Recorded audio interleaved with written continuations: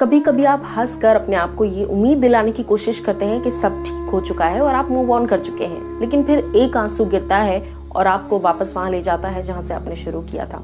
ये मेरा नहीं, ये कृति सैनन का कहना है। क्यों कहा है कृति ने ऐसा? चलिए आपको बताते हैं इस पोस्ट में।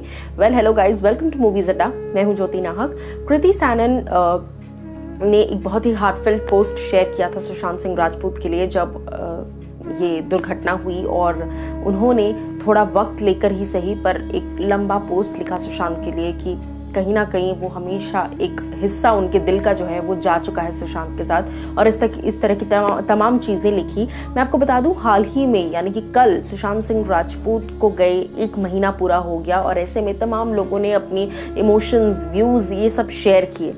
वहाँ पर कृति सैनन ने भी एक पोस्ट शेयर किया और उस पोस्ट का ये मतलब था जो मैंने आपको इस वीडियो में बताया। कहीं ना कहीं आप देख सकते हैं कि एक जो क्रिप्टिक पोस्ट डाला है कृति ने वहाँ पर ये फीलिंग आ रही है कि भले ही आप कितना ही हंस लो भले ही आप मूव ऑन कर जाओ एक महीना हो चुका है इस बात को लेकिन सच तो ये है कि अंदर से अभी तकलीफ़ हो रही है अंदर से अभी भी ऐसा लग रहा है कि शायद वो लौट आए या शायद वापस आ जाए जो कि हो नहीं सकता। सो so, कुछ इस तरीके का एक दर्द जो है वो साझा किया है कृति सैनन ने। आप एज अ व्यूअर क्या कुछ कहना चाहेंगे इस पर या आप मुझे बताइएगा कॉमेंट सेक्शन में?